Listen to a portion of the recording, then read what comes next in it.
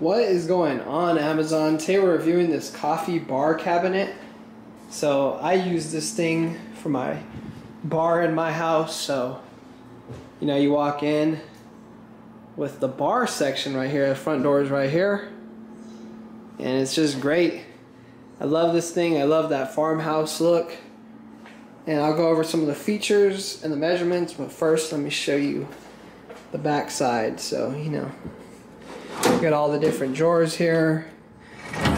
Got the sliding. A lot of room in there.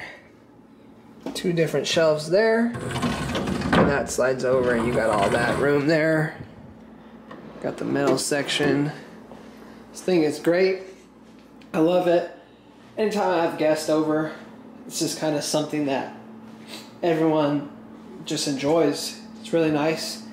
The dimensions are 15.5 by 54 by 36. And that has diameter by width by height. Special feature is that sliding doors. That's really nice. And overall, I have nothing bad to say about this thing. Weighs 132 pounds, so it is a little heavy. But yeah, I just love it. so nice. The weight limit is 150 pounds. So you could definitely put in a lot of stuff. And overall, I would definitely say that I recommend.